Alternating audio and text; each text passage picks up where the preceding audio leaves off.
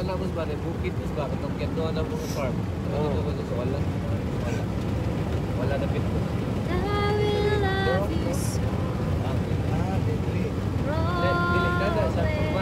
Ah, Na ibukid mo ba? Na ito from balay ito. Sa farm. May dili ka mo kalato mo sa kabak ito mo. Mo ganda ba? O alam kung tulo ka ah, paggago, kanang upo ba? Ako sa dong. Itong nagtrabaho may na na farm, di ba? Ah, unsa may kuhaon? Mga gulay kung lang ito. Oh? sa may nagtanong ka, no? Kasi yung mga farmer ito ba? Uh, Bangales. Sa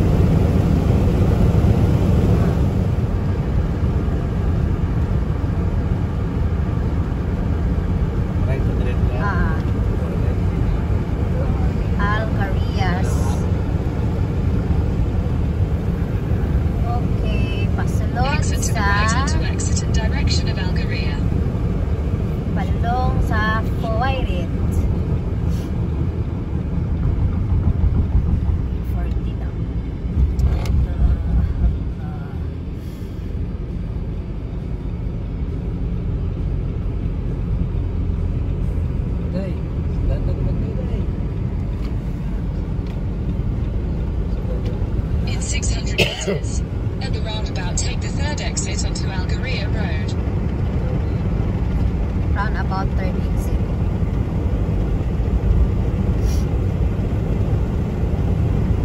Slim signal. Kompleto gid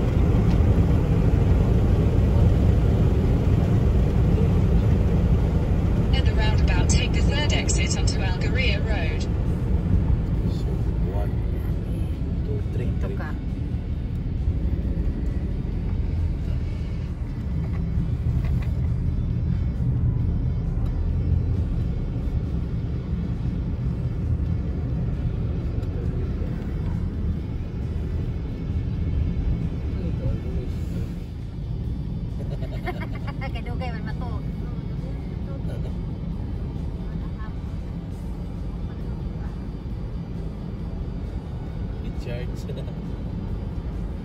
Recharge dahil tulog man. Lakaw na po. Lalo po niya hapon. Siguro may kawat eh. Kawat mo. Kaya kasama Sa yung Saudi. Ngay ta diri dong isa ka kaang dong.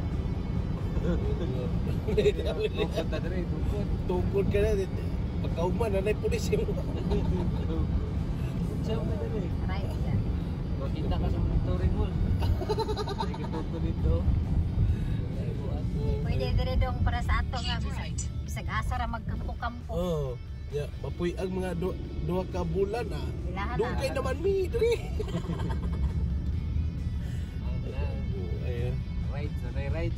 In Oh. 300 meters, turn right. Alam mi sa kuan. Sa sa ano, sa